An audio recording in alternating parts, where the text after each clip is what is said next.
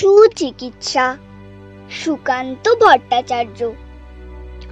বৌদ্রীনাথের সর্দি হলো কলকাতাতে গিয়ে।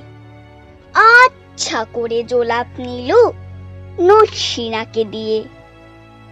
ডাক্তার এসে বলল কেসে বড়ই কঠিন ব্যায়াম।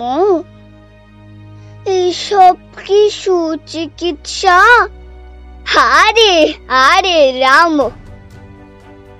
আমার হাতে পড়লে পরে এক্স রে করে দেখি। রোগটা কেমন? কঠিন কিনা? আসল কিংবা মেকে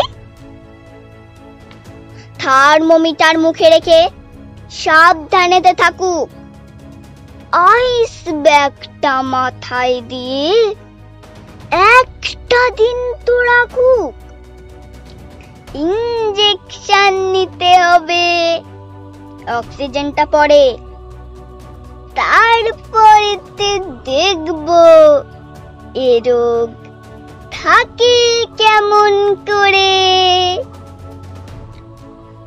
পল্লী গ্রামের বদ্রীনাথ অবাক হলো ভারী। সর্দি ধন্য ডাক্তারি নমস্কার।